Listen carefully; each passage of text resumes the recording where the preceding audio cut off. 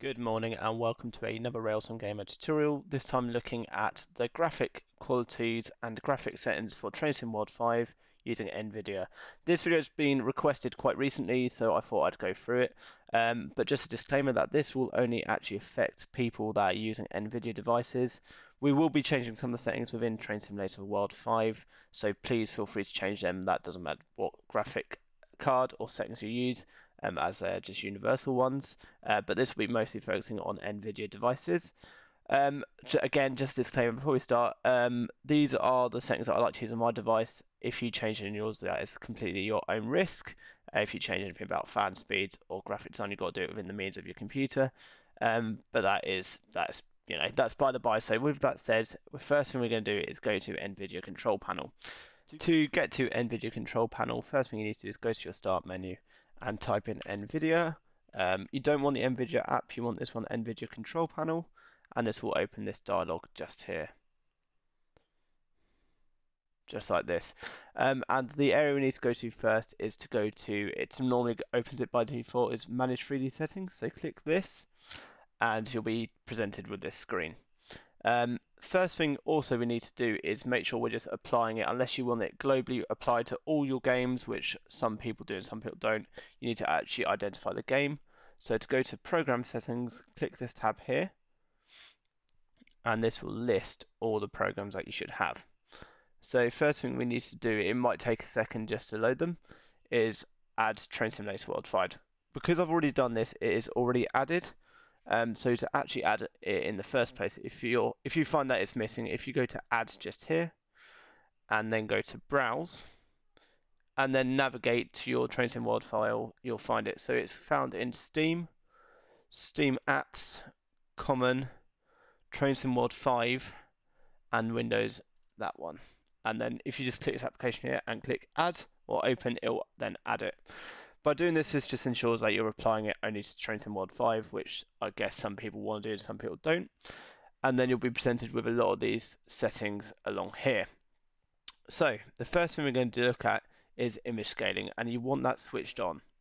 So I turn mine on, and I normally leave it at 50%, um, and that just looks after pretty much the scaling of the program. And then you just click OK to that, and it will apply the settings. The next setting we're going to look at is anti-filtering. So we're going to zoom in and we're just going to click this here and we're just going to change that to 16 times just like this. To be fair, mine was globally set already. Next one, we're going to look at anti-aliasing FXAA. By default, that is switched off, so we want to turn that on, just like this. After that, we're going to look at anti-aliasing mode, and we're going to set this one to enhance the application settings, just like this. Next one, we're going to look at anti-aliasing setting, and we're going to change that to 8, followed by low latency mode, and we're going to switch that on just like this. So this setting is quite interesting. So we look at power management mode, and that you prefer maximum performance.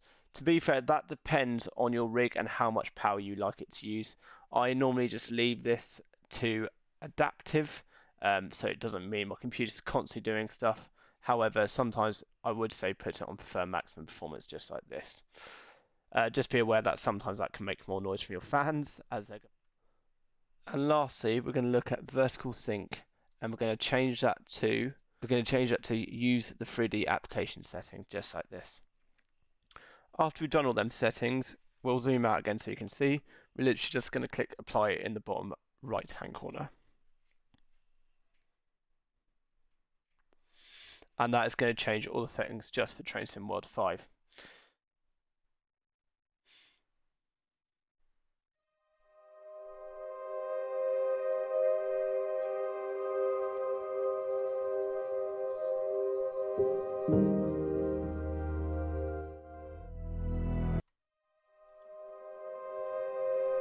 So once we get into Train Sim World 5, we need to go to settings, let's go to screen. We're going to change the screen resolution to 1920 or whatever your screen resolution is. And we're also going to change this to full screen and graphic preset of high. After you've done that, we're going to go back and then go to advanced settings. We're then going to go to advanced settings and set the following. Shadow quality is going to be high effects quality is going to be medium, texture quality is going to be high, view distance is going to be ultra, just like this, post, post processing is also going to be ultra, VSync should be off, and anti-aliasing is going to be set to TAA. Once our settings look like this, please feel free to pause the video, we want to click E and apply the settings, just like that. If we now load into the trains, we'll see the settings we've now applied.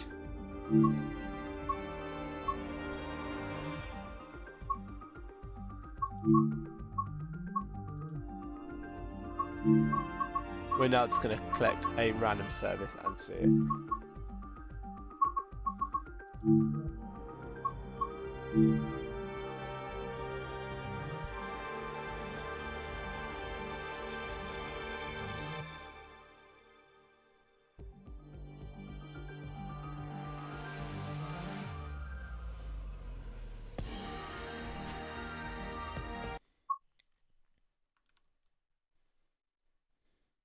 And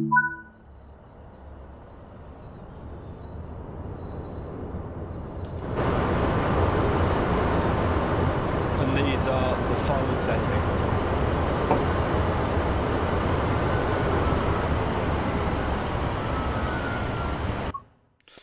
If you like this video, please remember to subscribe, comment and like.